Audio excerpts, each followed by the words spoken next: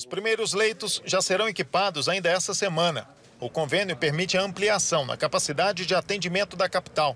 Hoje, a taxa de ocupação em Goiânia para pacientes com Covid é de 89% em UTIs e 91% em enfermarias.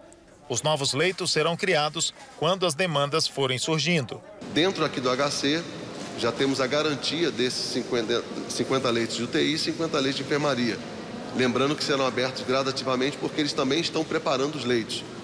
Então, a Fundac hoje é a conveniada que nós temos com o município, onde estarão buscando aí a criação dessa equipe técnica para estar aqui cuidando daqueles que chegarem aqui, os pacientes chegarem aqui no HC é, acometidos com a Covid. O custo com a instalação das UTIs é de responsabilidade do Ministério da Saúde. A Prefeitura, através da Fundac, fica responsável pelos profissionais que vão atender os pacientes com Covid-19.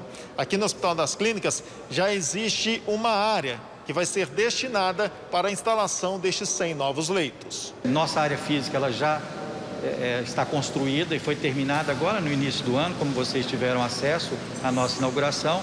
Essa área física está sendo apenas equipada e é, preparada para poder dar atendimento a esses pacientes mais graves da pandemia. A população de Goiânia hoje é, pode ficar é, mais tranquilizada do ponto de vista de que o hospital é, vai ampliar gradativamente à medida que for necessário e o tanto que a prefeitura necess... é, tiver necessidade para atendimento à medida que a pandemia evolua. É necessário lembrar a todos que somente aberturas de UTI não resolverá o problema da pandemia.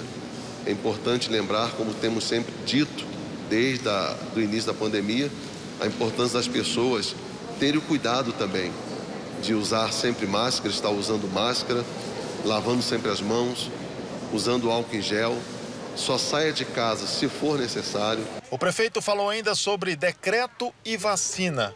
Segundo ele, uma nova reunião deve acontecer na sexta-feira para analisar a situação da capital e definir se flexibiliza ou não o funcionamento do comércio. Estaremos analisando, a partir de sexta-feira, como estará a situação é, da condição própria, das, tanto da propagação do vírus, quanto também da utilização de leitos de UTI. Baseado nisso, é que nós faremos então uma nova flexibilização, podemos dizer assim, para reaberturas é, é, aos poucos na nossa cidade de Goiânia. Sobre as vacinas, a capital já começou a imunização em idosos a partir dos 78 anos.